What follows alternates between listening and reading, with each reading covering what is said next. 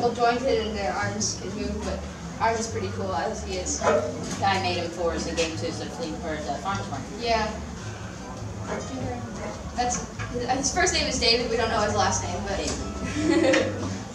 All right. So this is Old Joe Clark, and then we're gonna go and do a song called Jawbone, which is a more obscure song, but they sound really similar.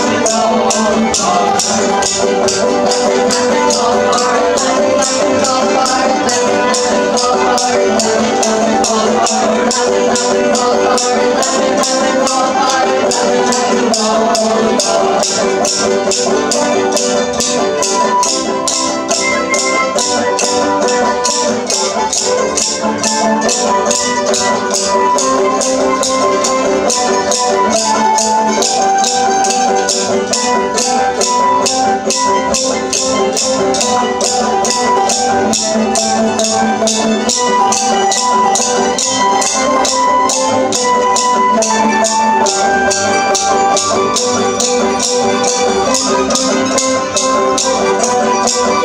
Pioneer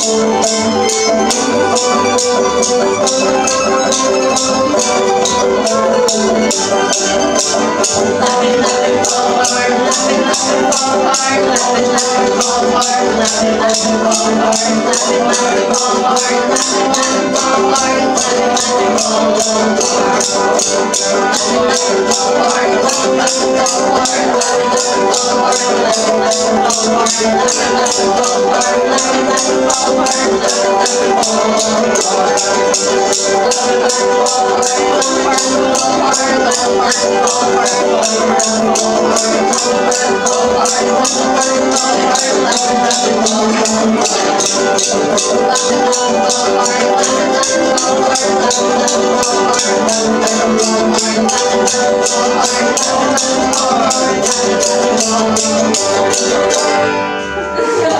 and Civil War music with Native American. with the Native Americans that were in this area. They kind of all got mixed in in my family in Eastern Kentucky, so it's it's always felt natural for me to, to do this with the Yeah, you know and the auto harp. It's tedious after a while. yeah. So Chewing gum. Oh, yeah. So this is an old Carter Family song, and so back when uh, chewing gum was first like distributed like industrially, you know, this is kind of like a song about how rude it is to like smack your gum and stuff. So it's an old Carter Family song, and Johnny Cash did it. It's pretty good. So.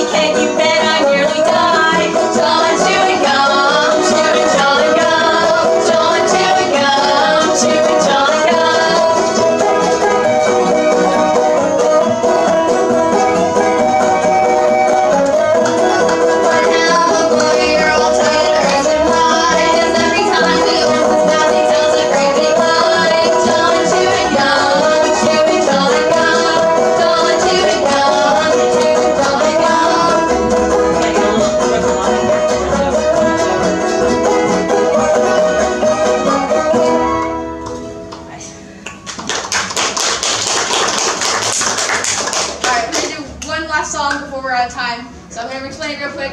Um, it's basically just an audience participation song. So when I say who broke the lock, you say I don't know. So let's try it one time. Who broke the lock?